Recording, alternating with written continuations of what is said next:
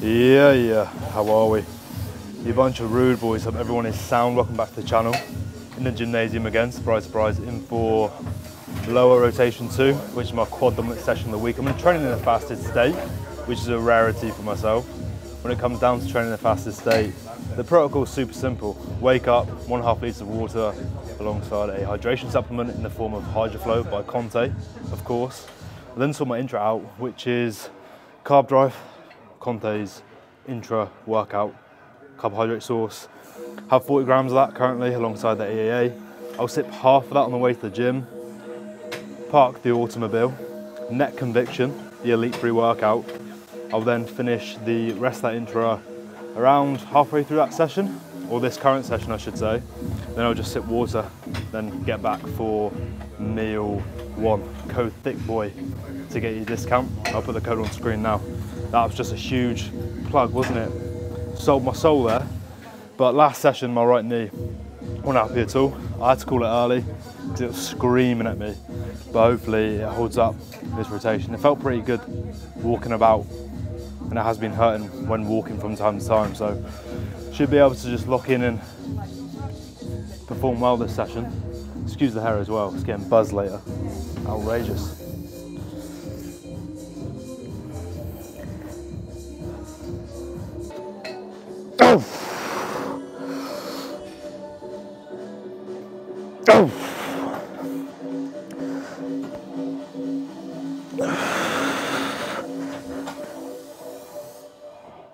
Abstract angle that. Three sets done.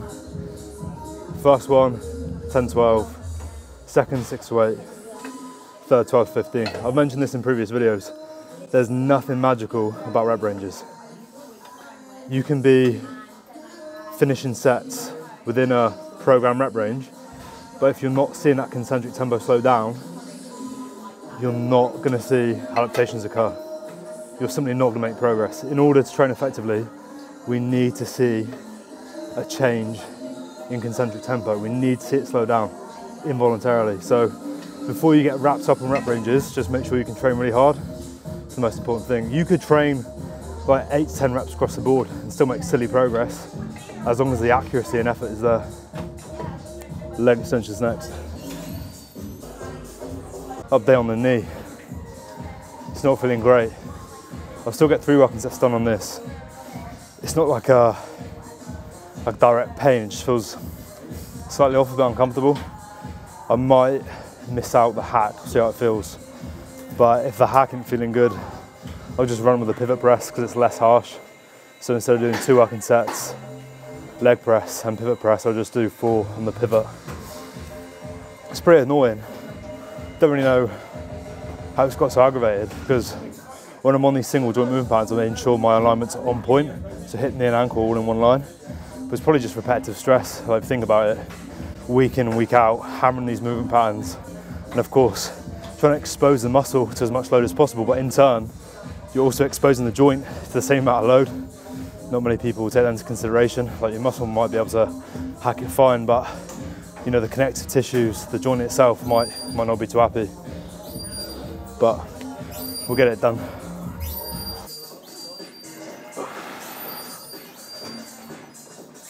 Oh.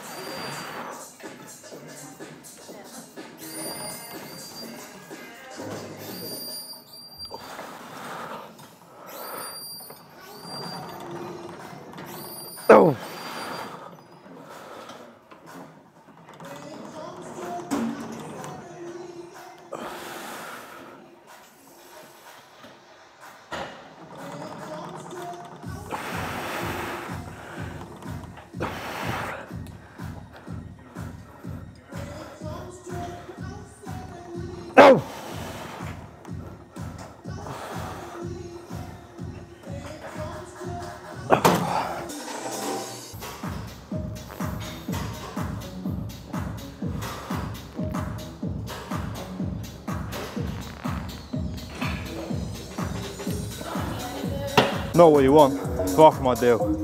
Right knee ain't feeling amazing. Got to the hack, went to get the green band out, green band out, not there. Unbanded variation today. That felt all right to be fair. I might go a bit heavier.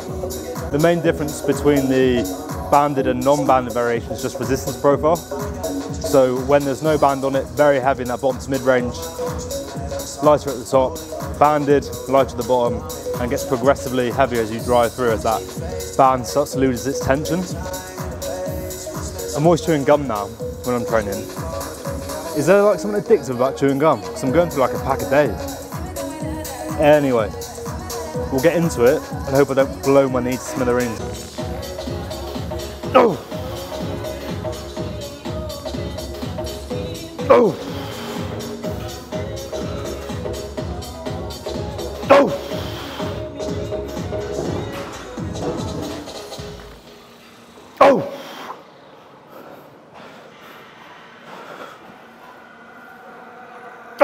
Felt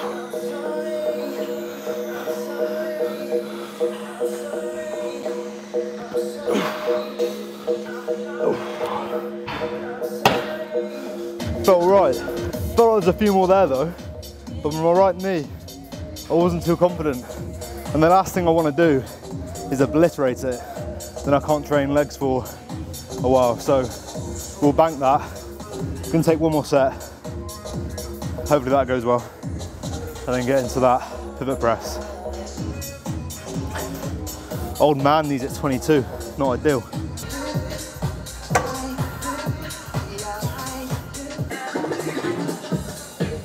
Oh.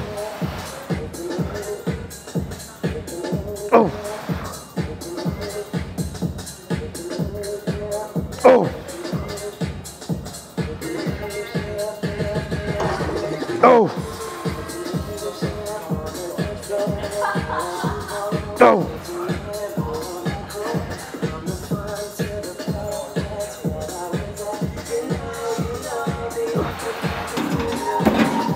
Get that kids and tell them a star time.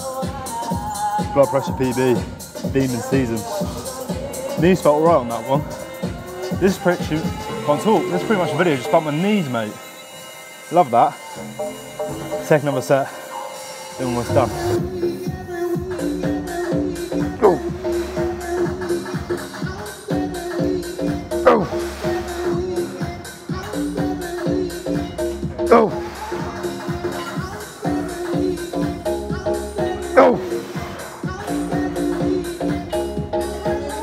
go.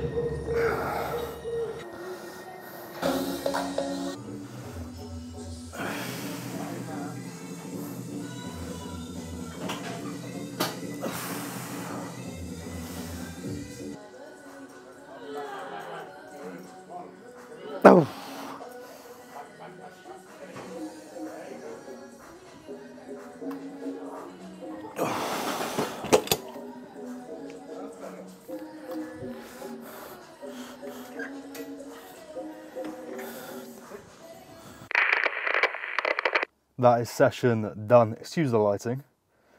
It's like I'm in the darkness, mate. I've been trying to play around with this, but as soon as I put the brightness up, it just goes overexposed and that's far from ideal. Good session. Knee held up. Progression was taken on multiple movements. That's what we like. Thick boy season is still, of course, on. It's never going to be off, mate, in all honesty. Gonna head back, shower, the sweaty body, eat some food, and then get some work done before getting this this trim shorted out. Shorted out. Anyway, like, subscribe, comment if you're feeling dangerous, and I'll see you in the next one. Go!